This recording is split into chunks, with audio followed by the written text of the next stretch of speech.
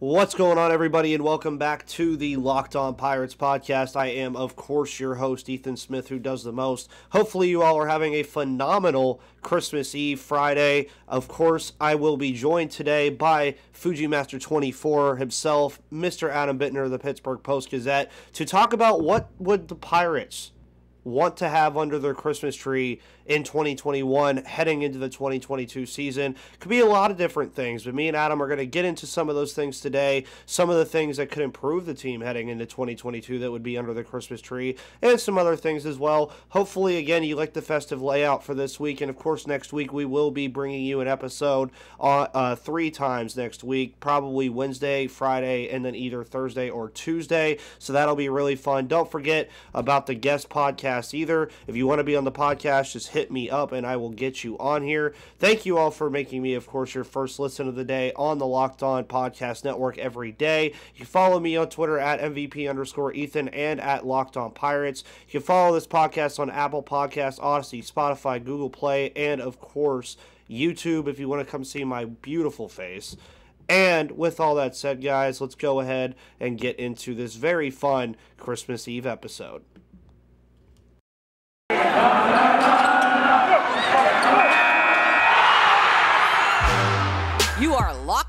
Pirates, your daily Pittsburgh Pirates podcast.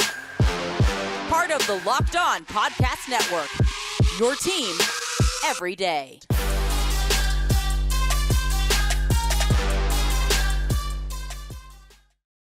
And of course, everyone, welcome back to the Locked On Pirates podcast. Adam, Bittner joins us today. As I said, Adam, how are you doing on this Christmas Eve? It's actually pretty cold down here too today, so uh, I don't know what's going on. I guess the weather decided to switch up on us today. Yeah, not no white Christmas up here like last year, so that's a little bit of a bummer. But uh, um, excited for some chicken romano at dinner tonight. Chicken romano. Mm-hmm. I gotta go to the Bittner household. Wait a minute. Pasta too for any of you Pittsburgh people who might who might uh, who might know of it. Uh, we're excited. Awesome. Well, sounds good. Adam's eating good today. Meanwhile, I am working all day today on Christmas Eve, which is kind of a bummer. But hey, you know, Christmas Eve, everybody celebrates it differently, right? Um, but that's one thing about the Pittsburgh Pirates is like many other baseball teams this offseason, uh, well, every baseball team this offseason, there's not really a lot going on right now. The CBA is still in a deadlock. Uh, talks are not going to start until the beginning of January again, so we probably have about another week, week and a half before we really start ramping up on this stuff. But before that, there was a lot of moves being made, and some teams were getting some early Christmas presents, like the Texas Rangers got Corey Seager and Marcus Semien.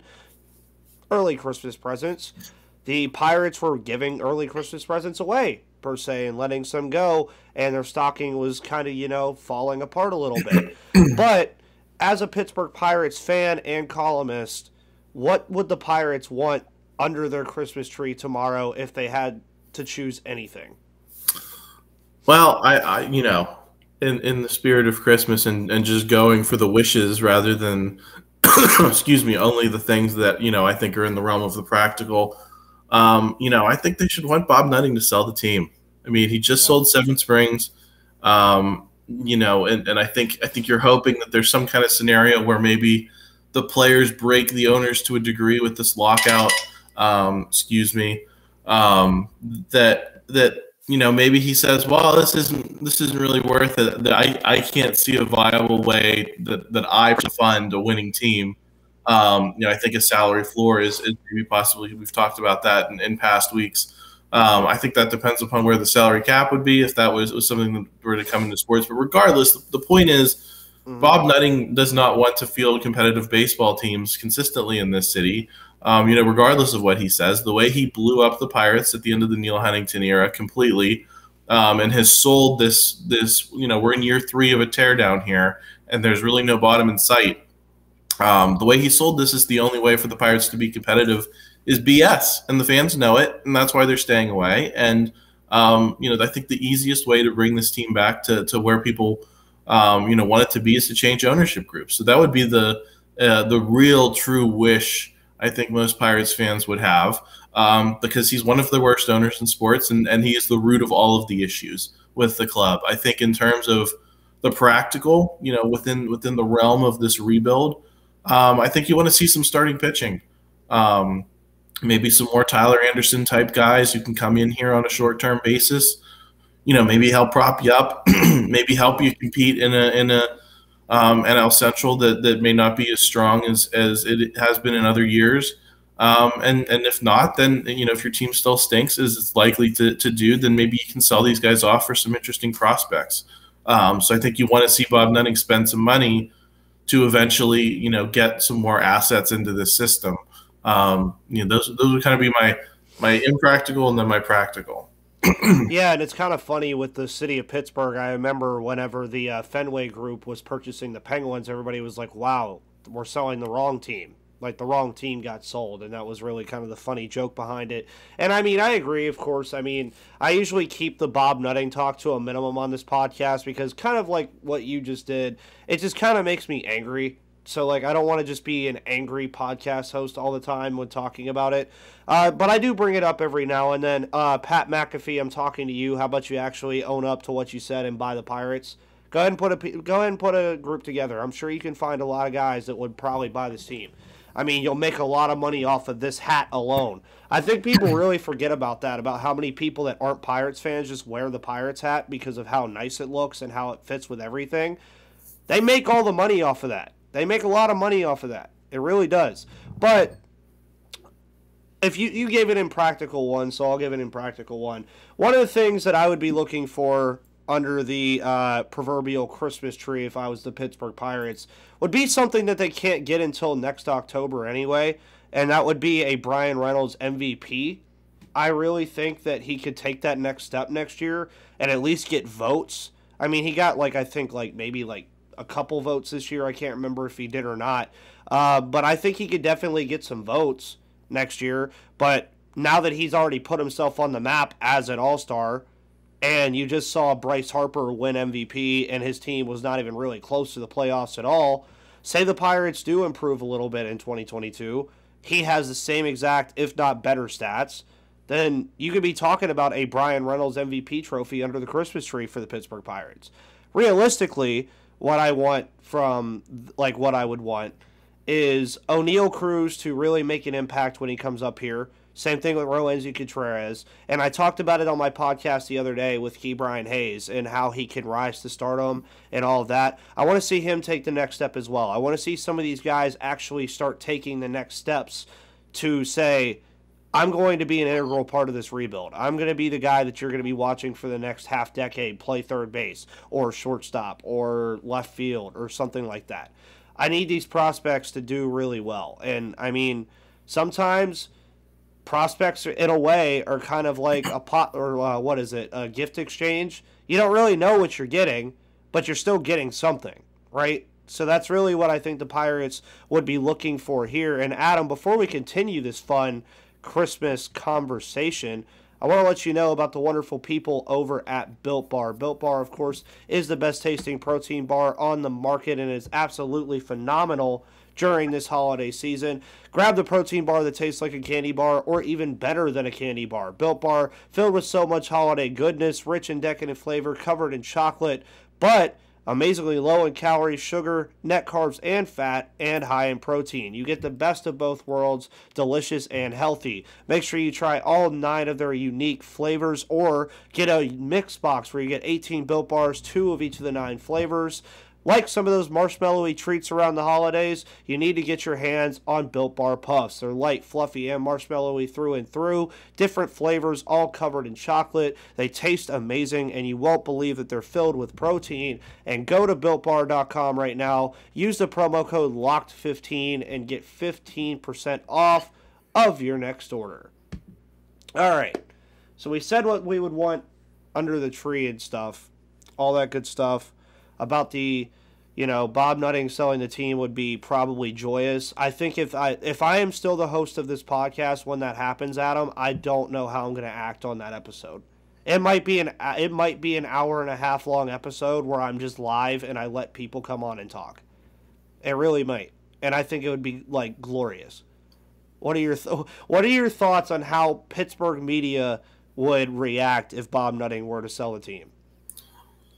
Well, you know, I think it depends partially on who'd be selling it to, and and I think if it was, um, you know, someone or a group that that Pirates fans could get behind, I think you know it's not going to be Fenway Sports Group because they own the Red Sox, but something like that where you have some big names involved. Um, you know, you have LeBron, you have, um, you know, maybe some other sports brands that you can point to and say, well, you know, this team's been successful. Um, you know, because that's that's kind of how the Penguins sale it, it depended who the Penguins were sold to about whether you'd be excited. Because I think, you know, if you're old enough, you remember when the Penguins were almost sold to Jim Balsillie and he was going to move them to Hamilton, Ontario. Um, and so, you know, who knows who ultimately Bob Nutting would, would sell the Pirates to? I think that that's part of the issue. Um, but if you if you sell it to a group that people can get excited about, um, you know, I think the the reaction would be almost immediate. I think you'd see people buying tickets. I think you'd see people getting excited um, more excited about this rebuild because you know, regardless of whether Bob Nutting stays or go goes, um, you know, he's you know that's this, this is the direction the team has chosen. So it's going to take some time, um, but I think you'd see more buy-in from the community. And I think the number one thing, kind of referring back to, to your wish list, is um, I think you want to see some extensions too, right? And and and maybe you know clearly they've been dragging their feet at this point. You know, clearly the you know, there's there's been deals sought that were not made between um, Bryan Reynolds. We've heard that reported. We've heard it with Ke'Bryan Hayes. Um, we haven't necessarily heard it with Oneil Cruz, but I think there's hope that that, that could get done. Um, clearly, this you know the, the the feet have been dragged on this. Clearly, the Pirates are pinching pennies, and that's the reason that these extensions haven't happened. Um, but I think if you saw a new ownership group come in, that'd be one of the fastest ways to earn some goodwill is, is them coming in and saying we're going to hold on to our guys here um, we're not going to be, you know, big spenders in free agency. We're not going to be getting those big, you know, tier one guys. You know, maybe we can pull a Padres and, and, and go grab a Manny Machado or something like that. But um, the one thing we are committing to doing for you guys is, is we're gonna we're gonna keep our guys here. We're gonna keep, you know, Bryan Reynolds. We're gonna keep Ke'Bryan Hayes. We're gonna make the commitment to those guys. and We're gonna build the club around them. Um, you know, for, for all the talk about this rebuild, we haven't seen that from this ownership group yet. Stepping stepping up to keep the best players, um, you know, are around for a long time. So um, that's that's kind of where you know I, I, think people would react positively to all of those things if you got a new ownership group that was willing to step up and, and not play around and, and not play hardball negotiation with with the players that people you know the few players on this team that people have, have started to come to love. Yeah, of course. And uh, Mark Cuban, is that you? Sorry, uh, Mark Cuban I remember a couple months back he was actually really rumored to be buying or in, interested in buying the team. Um, but again, I agree with everything you say. Um, realistically, it's a pipe dream. I, th- I would think though, because uh, with him selling the spring resort, I'm not really sure if he would want to sell another asset. I mean, I don't actually know how old Bob Nutting is. I haven't really ever cared. So I'm just kind of like maybe he wants to retire one day, but he's not really working anyway. He's just owning a baseball team, um, and he doesn't do a great job at it. But again, with the Christmas stuff too, I mean, this team is almost like realistically, you know, I, I know this is going to be. I'm making a lot of Christmas jokes because it's Christmas Eve, guys. Okay, so bear with me here, Adam. You, you're going to have to bear with me on this one. But Santa's sleigh had what eight reindeer on it, I think was it eight or nine? I think it's 12? eight plus Rudolph. Okay, so it's okay, yeah. so it's nine, right? How many? Okay, so there's nine players on a baseball field. Okay, cool. I was getting to this. Um, yeah, Santa sleigh can't run without nine reindeer, right? And right now, how many realistically do you think are worthy of being on that sleigh right now? Bryan Reynolds, right? Yeah, that's one. Ke'Bryan Hayes, I'd still put him there because I think he's going to do phenomenal this year. After that, there's a real question on who's the third best player on this ball club at this point. That's a really good question. I think if Jacob Stallings was still here, I think you could easily give that to him. But there's plenty of guys around the roster right now that could really stake a claim for being the third best player on this roster, the third best reindeer on the roster, realistically. I mean, you could throw Ben Gamel in that conversation. You could throw Roberto Perez even in that conversation, just with the state of the team at the moment. Kevin Newman was a Gold Glove uh, finalist. You could throw him in that conversation. So realistically, who do you think the third best player on this roster is behind Bryan Reynolds and Ke'Bryan Hayes? Well, I, you know, you mentioned Ben Gamel. I, you know, I, I guess I'd mention Yoshi because he's the one person they've deemed to, to you know, worthy of, of signing mm-hmm. to any kind of, you know, contract. Um, other than you know Roberto Perez, who basically just replaced Jacob Stallings' salary on on the payroll. Um, so you know, I it's it's hard to say because really all we've seen from pretty much all these guys is a few hot like a few hot streaks, right? And and every player goes through those um, and some players are, are, just better than others. Um, you know, I think Ben Gamel's a good pick. I, I, think he showed a little bit more consistency than anyone else on this roster. Um, you know, he, he never really seemed to go through the deep valleys that some other players did. Um, you know, and he's he's a big leaguer. You know, is he you know on a good team? Is he probably a bench player? Sure, mm-hmm. um, but he's a guy that you know belongs in the big leagues. Um, you know, he's he, he could play for other teams other than the Pirates. He's not just roster chum who's just here. Um, you know, he's a viable big league player. So, um, yeah, I, would probably go Ben Gamel if, if, we're if we're on the um, you know if we're on the on the starting nine front, um, not getting into the pitching. Um, yeah, I think David Bednar is the third best player if you're getting into the pitching personally by like a considerable amount. Yeah, but certainly on the in, in, the starting, you know, in the starting lineup, I, I, I like Ben Gamel a lot. Um, I think he belongs, and, and and that's at this point, that's that's pretty much the best you can say about guys on this roster is whether they even belong in the big leagues. Oh yeah, of course. So I think uh, we've established a couple things already. Is Bob Nutting is the Grinch. Uh, the Pirates currently have two reindeer on Santa's sleigh right now, and Bryan Reynolds is Rudolph all the way up there by himself.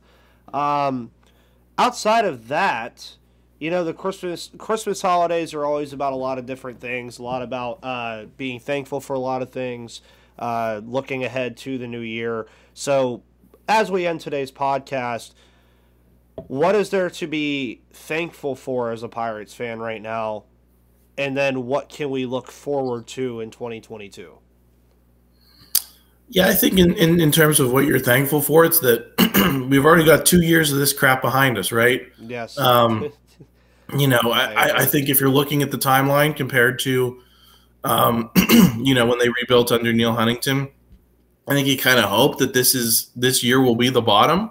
Um, it, I mean, obviously, you'd hope it's it's not the bottom that you're on the way up, but I think, um, you know, if if you can if you can have one more bad year and then start to see signs, start to get into this 2011, 2012 years where the Pirates still didn't have winning seasons, still weren't great teams by the end, but they they did things that got people excited. Mm-hmm. Um, they brought people out to the ballpark during the summer.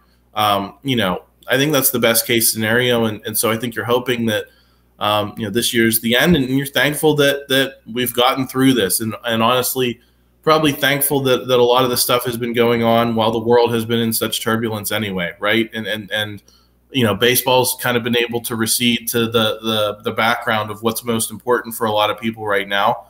Mm-hmm. Um, and, and when we finally get, you know, to be able to go to the ballpark without worrying about, you know, COVID or anything like that, um, then maybe, you know, there's a competitive team to, to go see. Um, you know, so if I'm looking for positives, I think that's where I start is, is that, um, you know, that, that, that we've already gotten through a lot of the teardown and, um, you know, hopefully the good stuff is going to start to happen. Yeah, of course. And then, I mean, Pirates fans, just remember this. I mean, we have the number four overall pick in the draft. They're going to have another top five pick enter this system.